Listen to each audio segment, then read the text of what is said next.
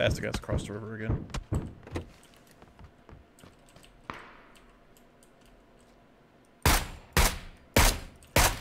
What's the coordinate?